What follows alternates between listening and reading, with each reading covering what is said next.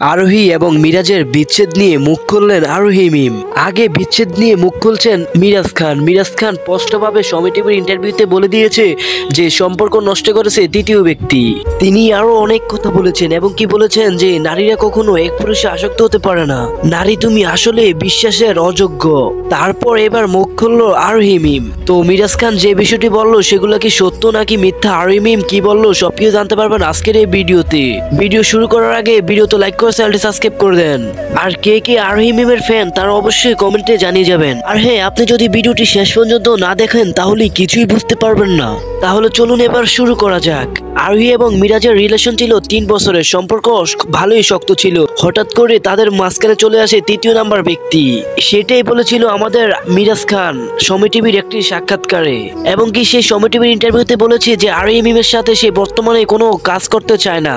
তো মিরাজ যে সমি টিভিতে যে কথাগুলো বলল, সেখানে আপনার মতামত কি অবশ্যই কমেন্টে জানিয়ে যাবেন। তো সমি টিভিতে সে থার্ড পার্সেন্টকে নিয়ে যে মিরাজ যে কথাগুলো বলল, সে থার্ড পার্সেন্টটাকে এটা এখনও কোনো ক্লিয়ার হয়নি।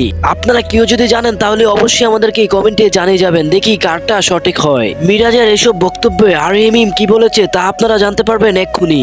আর হিমিম বলেছে যে, এই রহমত মাসে যে আমার বদনাম করছে, আল্লাহ তাকে হেদায়ত দান করুক। গাইস, আপনারা আর দুদিন পরে আর হিমিমের ইন্টারভিউ পাবেন, সেখানে আর হিমিম সকল কিছু ক্লিয়ার করে দিবে।